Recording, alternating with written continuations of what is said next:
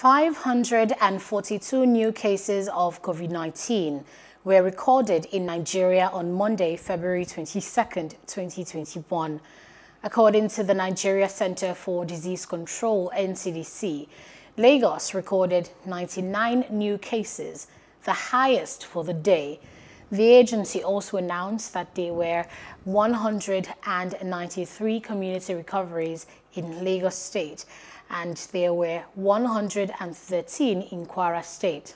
Nigeria now has a total of 152,000 129,300 patients have been discharged so far, with 1,862 deaths recorded. Hello, hope you enjoyed the news. Please do subscribe to our YouTube channel and don't forget to hit the notification button so you get notified about fresh news updates.